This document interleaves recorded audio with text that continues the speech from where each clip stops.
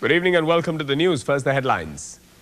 President calls for building up the economic and defensive might of the nation to counter terrorism.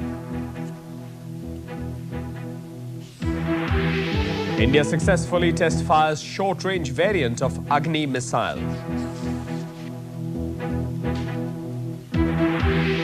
And Ashok Chakra Award for four security persons, including three who laid down their lives during the attack on Parliament. Elaborate security for Republic Day parade tomorrow.